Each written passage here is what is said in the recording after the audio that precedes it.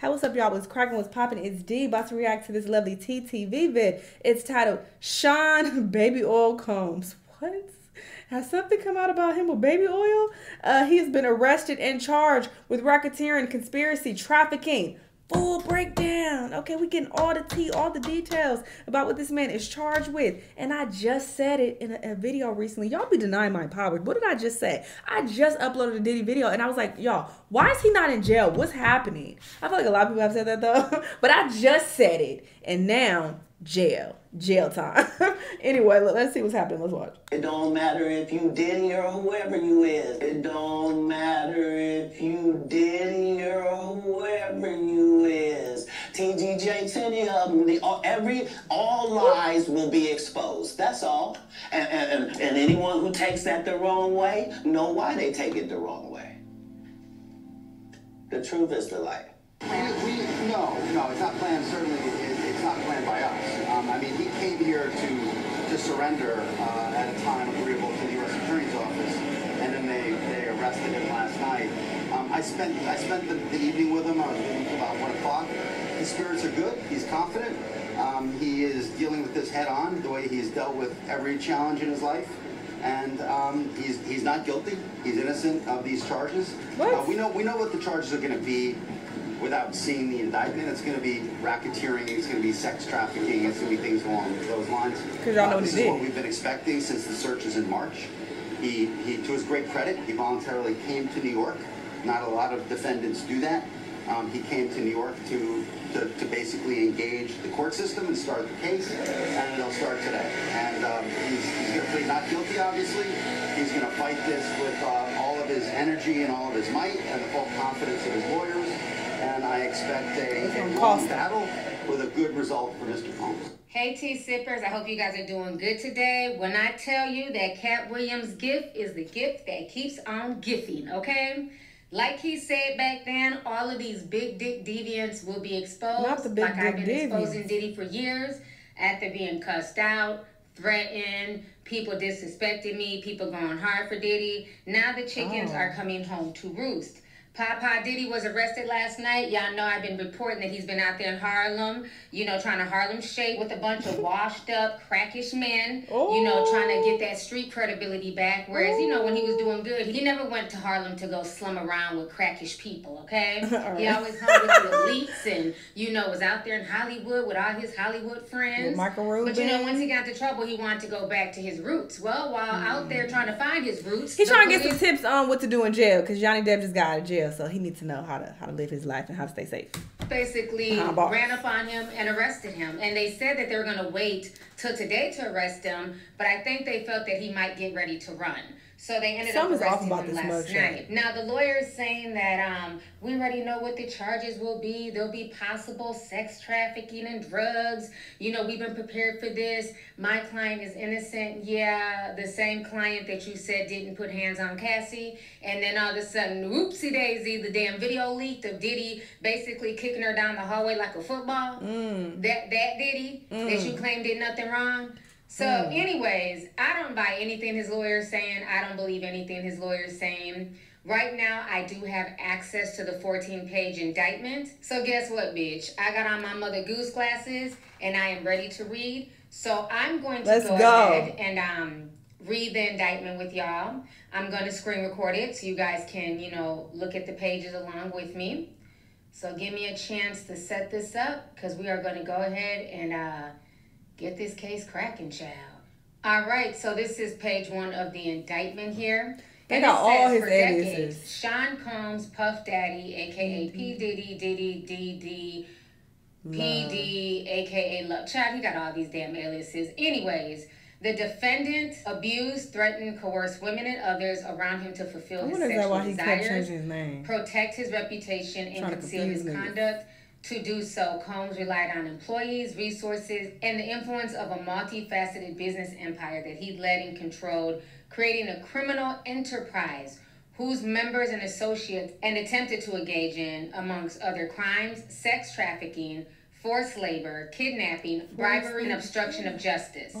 The defendant operated his business headquartered at various times in Manhattan and Los Angeles under a variety of United States based corporate entities, including Bad Boy, Bad Boy Entertainment, Combs Enterprise, Combs Global. Corporate entities in the Combs business include, amongst other things, record labels, a recording studio, an apparel line, alcoholic spirits business, a marketing agency, and a television network and media company. This is about the drain. The defendant engaged in and persistent, persuasive patterns of abuse towards women and other individuals. This abuse was at times verbal, emotional, physical, and sexual. Mm. As part of his pattern of abuse, Combs manipulated women into participating in highly orchestrated performances of sexual activity with male commercial sex workers.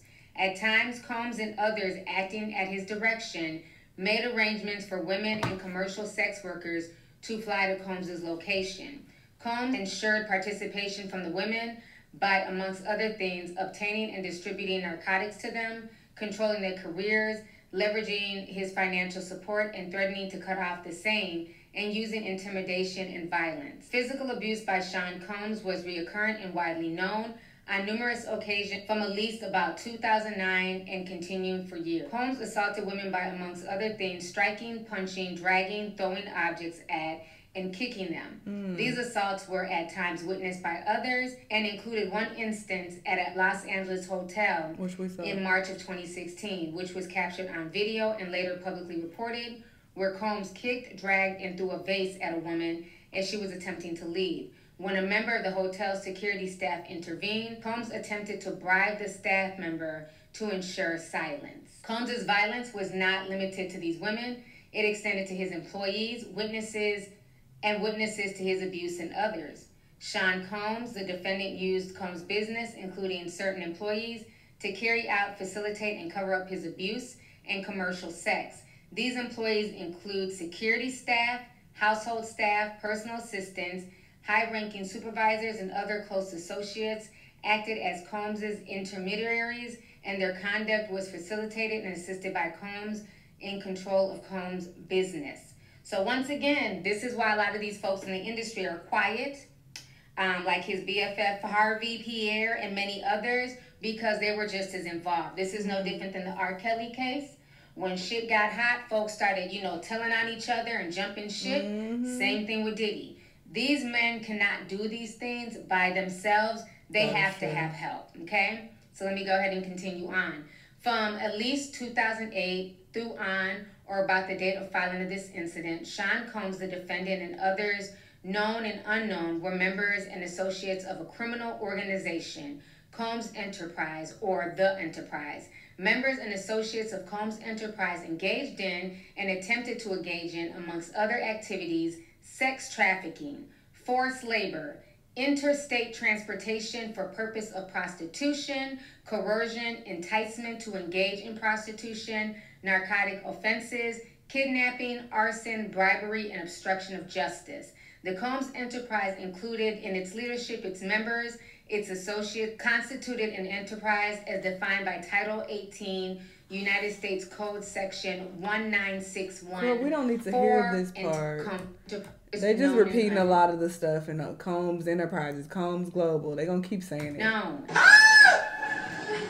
I'm going to kind of skip around a bit because they're kind of repeating themselves. So on line Thank 11, you. it says the purpose of Combs Enterprise, including the following operating a global business in media, entertainment, and lifestyle industries, including, amongst other things, record labels, recording studio, an apparel line, and an alcoholic spirits business. They repeat that. Then on uh, page six, they go on to say Combs and other members and associates of Combs Enterprise wielded power and prestige of Combs's role at the Combs business to intimidate, threaten, and lure female victims into Combs' orbit, often under the pretense of a romantic relationship. Combs then used force, threats, and force and coercion to cause victims to engage in extended sex acts with male commercial sex workers that Combs referred to, amongst other things, as freak-offs. Freak-offs were elaborate, were elaborate and produced sex performances that Combs arranged, directed, and masturbated during and often electronically recorded. In arranging these freak-offs, Combs, with the assistance of members and associates of Combs Enterprise, transported and caused to be transported commercial sex workers across state lines internationally. This is why the feds are involved. We are talking about international travel with people who, who may or may not have been sex workers were brought across state lines. That is no joke. Okay? Freak mm. offs occurred regularly, sometimes lasted multiple days, Dang. often involved multiple commercial sex workers. During freak offs, Combs distributed a variety of controlled substances to victims in parts to keep the victims obedient and compliant. Sometimes unbeknownst to the victims, Combs kept video he filmed of the victims engaging in sex acts with these commercial workers.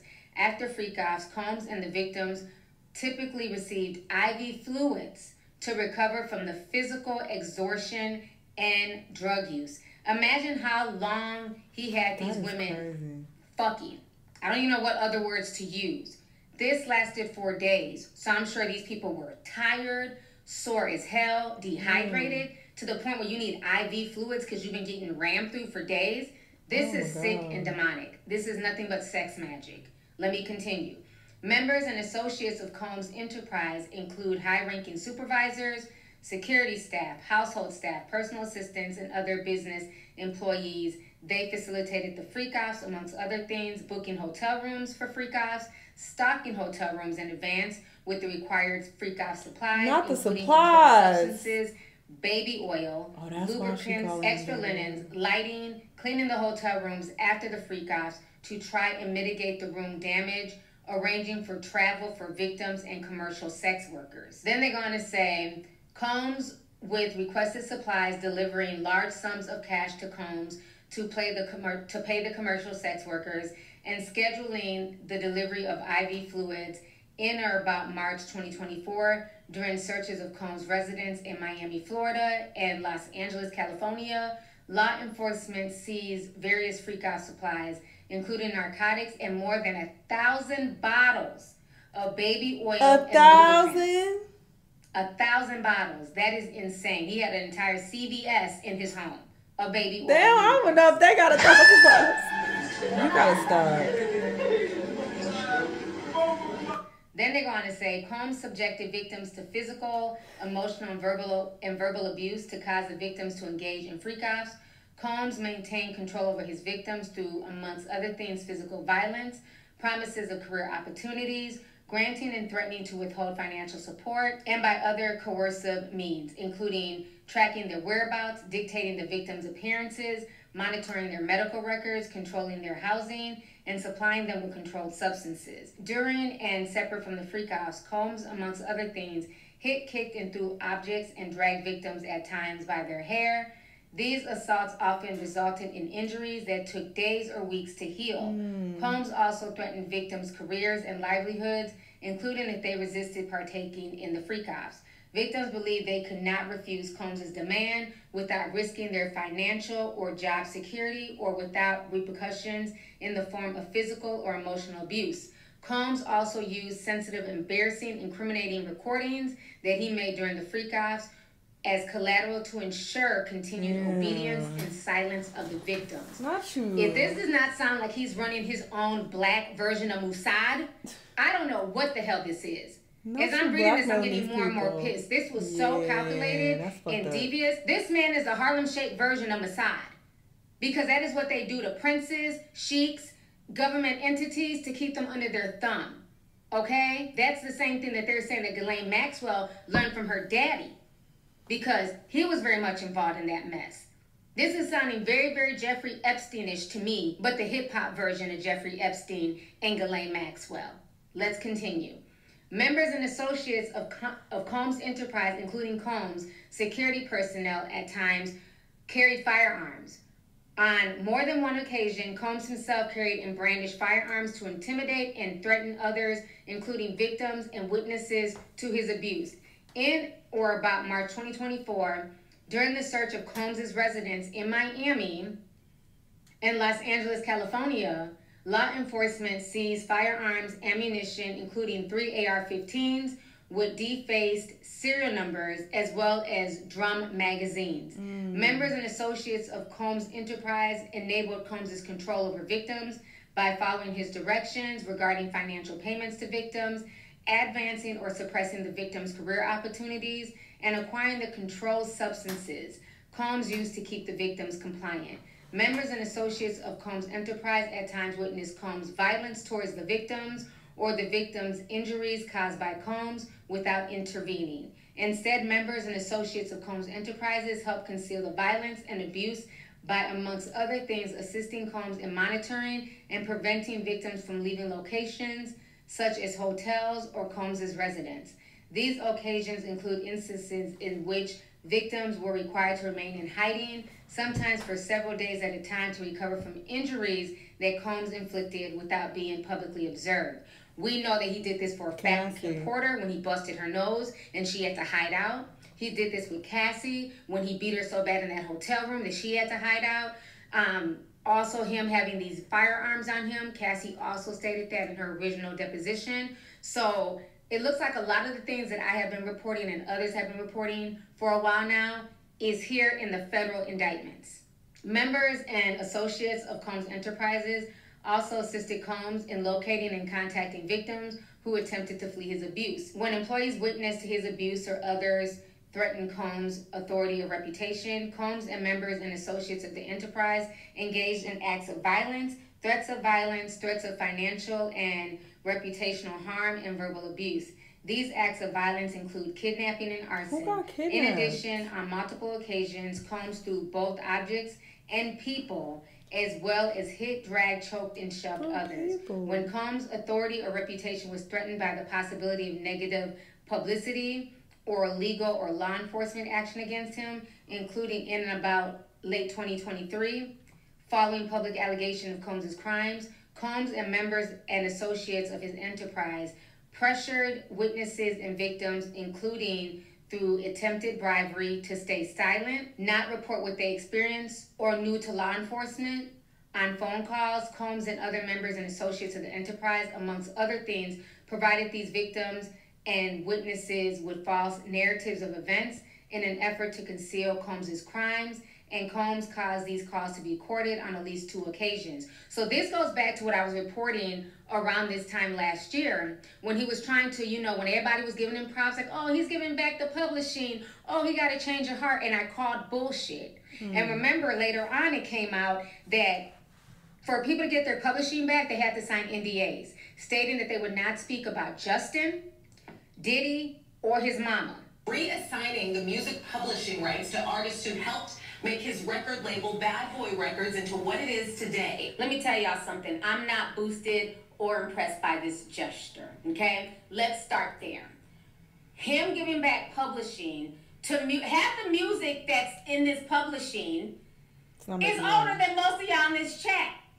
Half y'all don't know these damn songs. Y'all ain't gonna go back and listen to no damn Carl Thomas, G Dep, and let's not forget, he sold the popular songs. Oh, I call him Johnny Depp is G Dep. he sold a lot of the very popular publishing already. And let's not forget, he sold the popular songs. Did we forget that?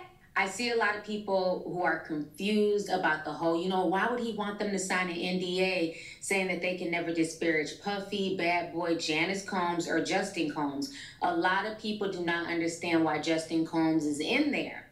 Okay. I heard the NDAs don't matter if there was a crime committed. You what? you you can't use an NDA when you're guilty of committing crime. So. And if you go back and you watch my breakdown, I did two videos on the Puff and Mase situation, one in 2020 and one in 2021, I believe, maybe 2022. Um, and I broke that down in there. Justin Combs, from the time he was a tot, mm-hmm. has been making money off of publishing off of all of these artists because that's a hustle that a lot of people do, right? In order to create generational wealth, they'll put their kids' names on an album, even though they have nothing mm. to do with it. Mm. DJ Khaled does it with Asahd. Uh, Beyonce has done it with Blue Ivy even though they really don't have nothing to do with the music, it's another way to keep the money in the family. So instead of giving that publishing to somebody else and helping build somebody else's generational wealth, you can just put your kid's name on the publishing and then they can get money, you know, they can get all future revenue. So Justin has been living good off of all these people's music and publishing that he had nothing to do with. That is why he's a part of the NDA. Diddy doesn't want anybody mm-hmm. dragging Justin, okay? Mase was one of the first people to really put it out there because he knew all of this was coming down the pipeline. So him trying to give back that publishing was very much calculated. And I mm. stated this a year ago before any of this stuff ever came out. And they go on to say the racketeering conspiracy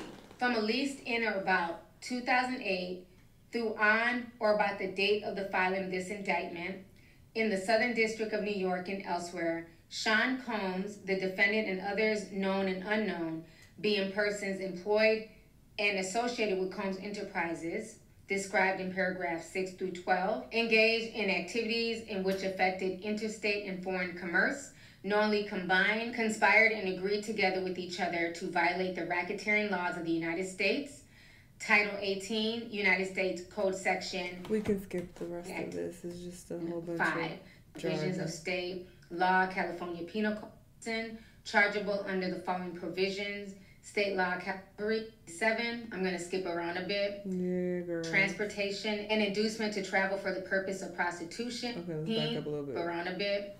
Then they go on to say multiple acts um, under Title 18 relating to the transportation and inducement to travel for the purpose of prostitution and other illegal sexual activities and multiple offenses involving the possession with intent to distribute or the distribution of narcotics and controlled substances, including cocaine, oxycodone, alprazolam, mm. method, methamphetamine, child, and a bunch of other drugs. Right. Ketamine. I, I, don't do drugs. I don't know all these names, um, but I do recognize ketamine, child. So he was out here doing all types of nonsense. Mm. You know, mm. instead of just making his love album, he was pimping out people, mm. uh, bribing people, threatening folks, and he was also a drug mule per this indictment. Then around line 17, count three, the transportation to engage in prostitution. They're saying from at least about 2009, okay? Up to and including about 2024, the Southern District of New York and elsewhere, Sean Combs knowingly transported an individual in interstate and foreign commerce with the intent for that individual to engage in prostitution and attempted and aided and abetted and willfully caused transportation of female victims and commercial sex workers on inter- in interstate and foreign commerce on multiple. They are repeating a lot so, of this stuff probably having her engage in being a whore as well. And let's not this Wait, whore, Caresha. Yeah, I was just thinking about that. I'm like, I'm about to get getting her ass. Pause. But it's like considering he's into all of this and he currently had a thousand bottles of baby oil at both of his houses. Like, bro, there's no way you didn't see this freak shit happening. There's no way you wasn't a part of this freak shit.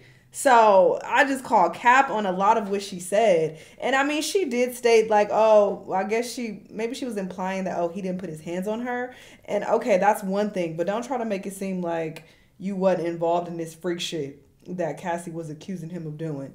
So that's why I was always side eyeing her. That's why he was fucking with her. He wasn't fucking with her because he thought she was so beautiful and amazing and blah, blah. He fucking with her because she was with the shits. Hello? Hello? Two plus two is four. That's why he was fucking with her because she was down to do whatever. And she was even talking about how she was getting pissed on. Imagine what other freak shit she was doing. And then in a lawsuit, they said that she was uh transporting drugs with him. So she was a part of all this weird shit. That's why I've always been on her head. Fuck out of here, Caresha. And that they engaged weird in prostitution. Looking at you, Caresha. Since you know she's a whore and loves to brag about being a whore. So I don't know what's happening. This isn't my, my doing. And let's not forget, he's very much tied to Zeus Network, Lemon Pepper, and all the baddies. Because there's been all types mm. of rumors. I would not be surprised if. Oh, yeah. That, uh, what's the chin? Chin. Natalie Nunn. They were saying that she was basically pimping those girls out. So she's working with Diddy to pimp those bitches out on the baddies. Wow, wow. More comes out that some of those baddies were also some of the girls that were being pimped from east to west coast. Because remember, in my deep dive, Diddy was getting ready to have a show on Zeus Network, and him and Lemmy mm. are very close. And they've been saying them baddies are out here selling a little something, something. 23, and I'm here with City Girls. The City Girls. Y'all know what it is. How you feeling? Where you know me from? I don't know. Remember? We went on. Where did we go? We went on a trip remember? Where, like a group of us. It seems like I ain't with this whole shit. I don't know what y'all talking about. I can't remember. Oh, yeah, I know you. That's where I know you from. I know. Wait, you remember now? Oh, okay. All right. well, now we're here. Girl, that was not what I was talking about. Did you know it's the fifth? Do you know it's the 50th day of hip hop today? No. Me neither.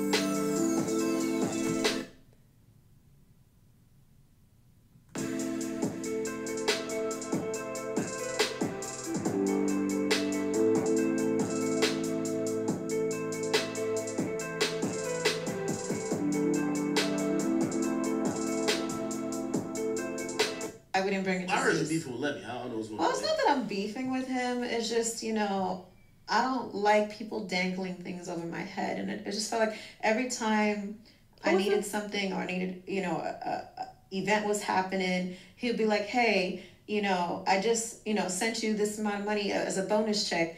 Uh, or I'll have this bonus check for you coming, but I need you to do this. And I'm like, wait, so you're you're basically bribing me to do something. I'm not saying I did anything against my will, but I will say, you know, I just hated the fact that he would always use something over my head. So like if the the show was still in editing, he'd be like, "Oh, if you don't do this, I'm going to make you look bad." Or I'm going to do this, or I'm going to do that. And I'm like, "What the heck?" Down to the premiere of the show. You know, I I, I almost didn't show up. Wait, which, which show?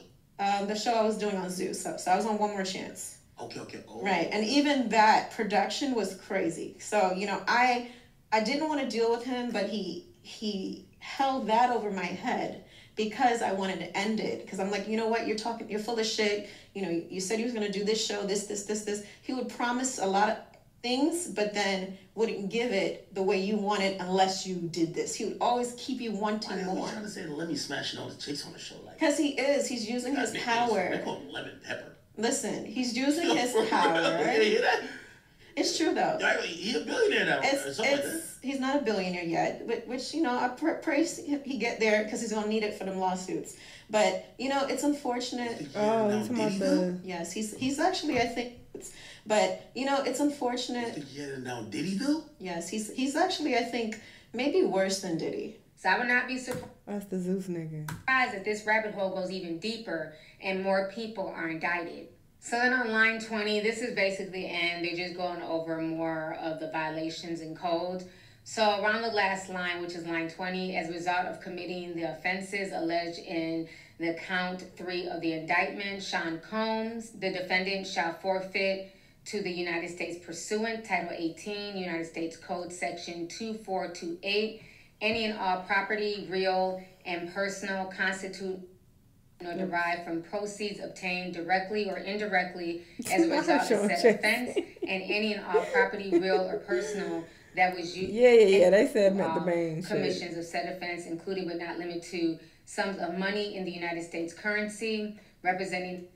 All right, y'all. So Mother Goose, aka TT, did her thing, broke down that indictment for y'all. I hope you guys enjoyed this video. Let's go ahead and get the discussion popping. What do y'all think about all of this? And do you think that this is basically going to snowball into something bigger because trust and believe so. Diddy was not alone. And if he's looking at real jail time, which he is, he's going to start singing and throwing people under the bus. And I think this is why a lot of people in the industry right now are quiet. Diddy's not the only one. And like I said um, earlier this year, we are in the age of Aquarius, and a lot of people are tired of being used, abused, and mistreated. Mm. For so long, this industry has not been fair You've yeah. had people who've gained power and then they turn around and they become then slavers to people who they deem beneath them. So it's really sad. Mm. You know, all of the things he was blessed with only to allow ego and arrogance to basically tear down his castle. And I believe his sons will go down as well. And stop acting like they're 12 and 13. These are grown men yeah, who are closer to 30 than they are 20. So let's stop with the, oh, leave his kids out of it. His kids were also indicted. The only one that was not indicted was Quincy, and that's not his biological child. So Al B. Sure, hold your son tight and keep him away from this fuck shit. So with that being said, I look forward to meeting. I've always liked Quincy the best. Um, this is crazy. This is insane. The fact that he had all those bottles of baby oils was sending me like, what? That is so trifling. Um, so yeah, we're gonna see what takes place and how much time he ends up getting and who else goes down with him because I do believe there will be others that he will throw under the bus. Um, and there will be others who, you know, come out and reveal even more stuff about him. As they're interrogating other people, people start getting scared and they start snitching. So I think, you know, even crazier stuff is going to come out about what he's been up to. So really wild. And I wish Caresha would just be honest about her, her part in all this because like I don't like how she was trying to play innocent and that. I didn't see none of that. I what I can't speak on that. That wasn't my experience. She was a goddamn lie. And sure, she ain't gotta talk about nothing. She could just stay silent. But don't lie. Don't come out with lies, bitch. Anyway. this is wild. We'll, we'll see what takes place. Y'all let me know what y'all think. Let me know what other videos you want to watch, and I'll see you on the next time. Bye.